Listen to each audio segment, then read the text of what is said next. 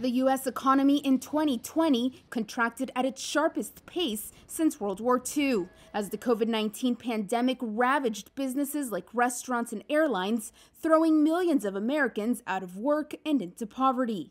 A Thursday report from the Commerce Department showed the economy contracted 3.5% in 2020, the worst performance since 1946, and the first annual decline in GDP since the Great Recession.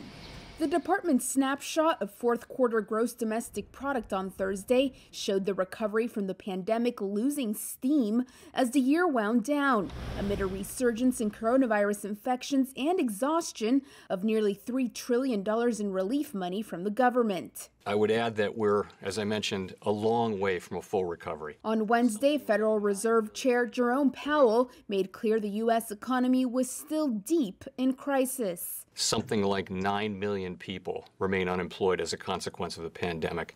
That's as many people as lost their jobs at the peak of the global financial crisis and the Great Recession. Many small businesses are under pressure, and there are other needs to be addressed. And the path ahead is still pretty uncertain.